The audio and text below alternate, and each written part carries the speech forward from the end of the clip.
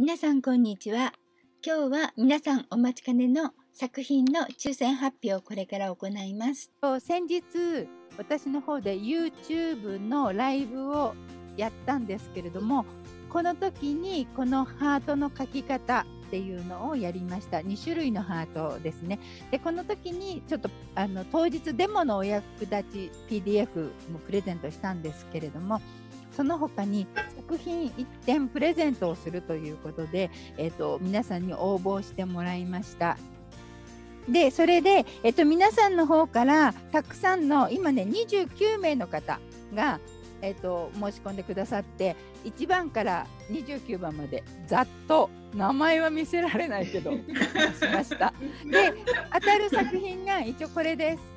これこれにこのプレートなんですけどこのプレート私が書いたやつを1名様にプレゼントするというそういった形になっています。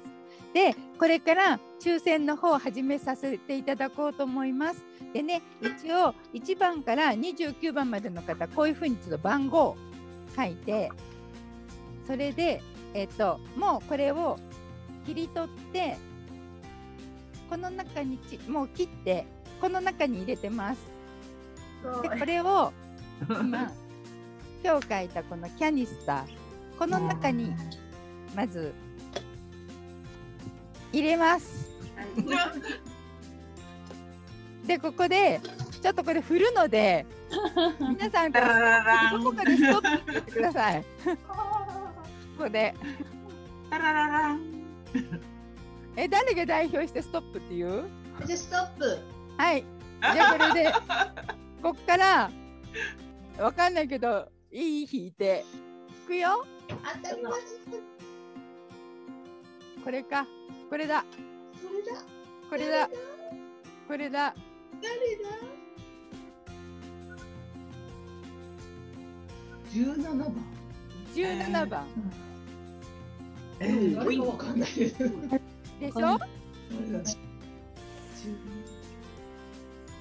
17番ここに17番の人出てます。はい。あ17番があ鈴木邦子さんでした。いないですね今日ね。鈴木鈴木邦子さん当たりました。ではあの鈴木邦子さんにはここで後で後ほど後ろの方にちょっと何か書いてそれで鈴木邦子さんのところに送ろうと思います。いいな。はい、鈴木邦子さん当たりました。はい。